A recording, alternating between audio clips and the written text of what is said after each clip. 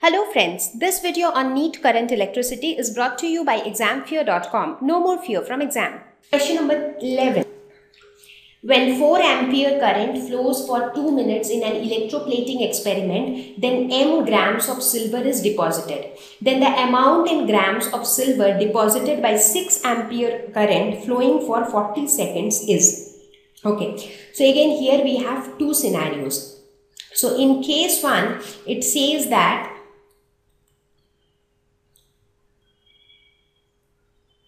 The time for which the current flows is 2 minutes and how much current flows? The current that flows is 4 amperes. That is case 1. Now we know that electrochemical equivalent of any substance is equal to the mass deposited per unit charge flowing that is m divided by it. So in this case m we do not know. How much mass was deposited? That we do not know. That is given as m. So m divided by i is 4 and t is 2 so 2 minutes when converted to seconds will be 2 into 60 that is 120 seconds. So 4 into 120 that is case 1 now what about case 2 so in case 2 the time is 40 seconds and the current that is applied is 6 ampere.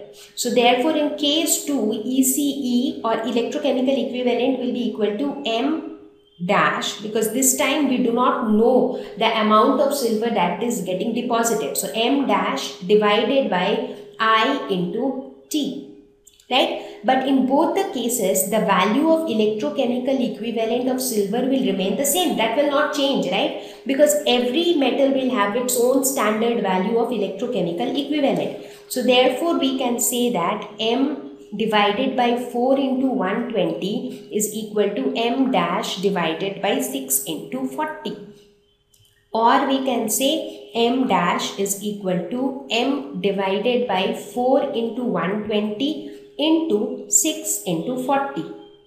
So 4 into 10, 6 2s are 12, 10 2s are 20. So m dash is equal to m by 2. So the correct option is B. Question number 12.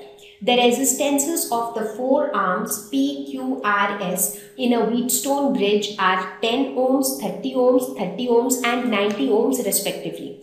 The EMF and internal resistance of the cell are 7 ohms and 7 volts and 5 ohms respectively. If the galvanometer resistance is 50 ohms, then the current drawn from the cell will be. Okay, so reading the question is like tough. So instead of that, let's draw the diagram. So first we will draw the Wheatstone bridge. So this is how the Wheatstone bridge will look like. So it has resistances 10 ohms, 30 ohms, 30 ohms and 90 ohms respectively. Okay. And you have a galvanometer here. Perfect. Okay. Now the EMF and internal resistance of the cell. Okay, so let us connect it to a cell. So this is the cell and the EMF is 7 volts and the internal resistance is 5 ohms. Now the resistance of the galvanometer is 50 ohms. So that means this galvanometer has a resistance of 50 ohms. So the current drawn from the cell would be, so how much current is drawn from the cell? So in order to find out the current that is drawn from the cell, we first need to calculate the equivalent resistance of the circuit. So if you look at this Wheatstone bridge, P by Q that is 10 by 30 is equal to 30 by 90 right? So we see that p by q is equal to r by s which is equal to 1 by 3 so therefore this is a balanced Wheatstone bridge. And what happens in a balanced Wheatstone bridge? There is no current passing through the galvanometer. So basically this 50 ohm resistance of the galvanometer doesn't play any role. There is no current passing through the galvanometer Perfect. So how do we calculate R equivalent now? So these two resistances are in series. So they get added up and they make 40 ohms. Similarly, these two resistances are again in series. So they also get added up and they make 120 ohms. Now when you want to calculate equivalent resistance, this 40 ohms and this 120 ohms, they are in parallel. So therefore 1 by R equivalent is equal to 1 by 40 plus 1 by 120. So this is equal to 3 plus 1 by 120 which is equal to 4 by 120 or you can say R equivalent is equal to 30 ohms. So this is the equivalent resistance of the circuit. Perfect. Now, let us talk about the overall circuit. So, aren't we missing anything? So, this R equivalent is just the equivalent resistance of this part. What about the internal resistance of the cell? That also needs to be considered. Now, when we are talking about the overall circuit, so let's now talk about the overall circuit. So what happens? The net resistance of the circuit would be equal to R equivalent plus the internal resistance that is 30 ohms plus 5 ohms which is equal to 35 ohms. So therefore the current drawn from the cell would be equal to V divided by R net so V is equal to 7 volts divided by R net is 35 ohms. So this is equal to 1 by 5 ampere which is equal to 0.2 amperes. So B is the right option. Question number 13. Masses of three wires of copper are in the ratio 1 is to 3 is to 5 and their lengths are in the ratio 5 is to 3 is to 1.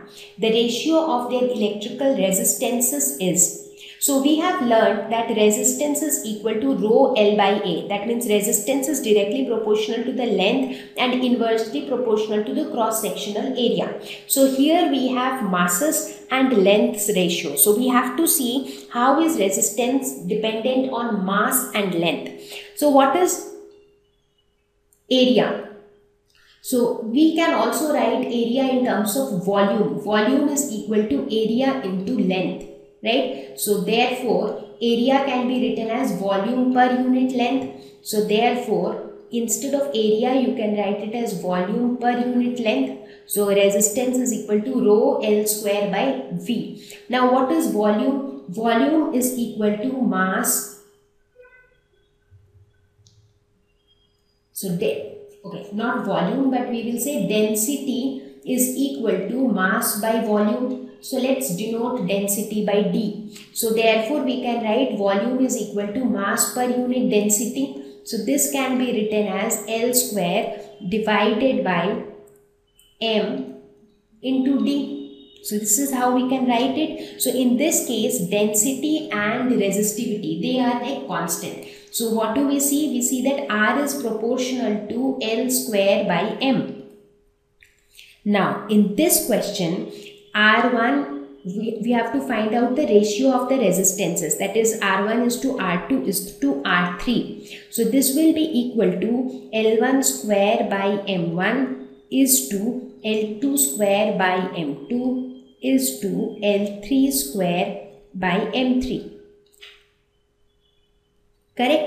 So this can be written as now here when we say that masses are in this ratio so we can say that masses of the three wires are x 3x 5x similarly when we say that the lengths are in this ratio we can say that the lengths of the wires are 5x 3x and x respectively. So therefore l1 can be considered as 5x square divided by m1 is x is to L2 square can be considered as 3x whole square divided by M2 is 3x is to L3 can be considered as 1x whole square divided by M3 is 5x.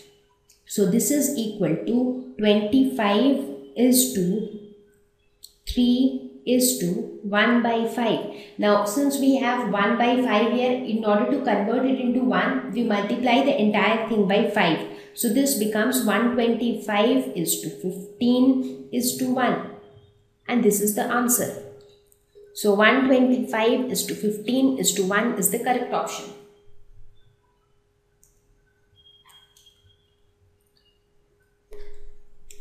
Question number 14. Two wires of the same material having equal area of cross section have length L and 2L. Their respective resistances are in the ratio. So we know that resistance R is equal to rho L by A, right? So in this case, we have two wires, right? So let, let's say that for wire number 1, it is L1, A1, R1. For wire number 2, it is R2 is equal to rho L2 by A2, right? So now let's say, now since the wires are of the same material, therefore the value of resistivity remains the same. Perfect. Now L1 is equal to capital L and L2 is equal to 2L that is given in the question. And what about A1 and A2? They have equal area of cross section. So A1 is equal to A2 is equal to A. So therefore the ratio of the resistances would be equal to L by 2L right because resistance is directly proportional to the length and in anyways area is the same for both the cases so this is equal to 1 by 2 therefore the ratio would be 1 is to 2 so c is the correct option question Thank you. Please visit examfear.com for free quality education. You can learn with a simple four-step learning process wherein you can watch video lessons, you can ask your questions, you can refer notes, and you can take a free online test. We have content for class 6 to 12 on physics, chemistry, mathematics, and biology along with practical videos. So please subscribe to our channel for daily updates. Thank you.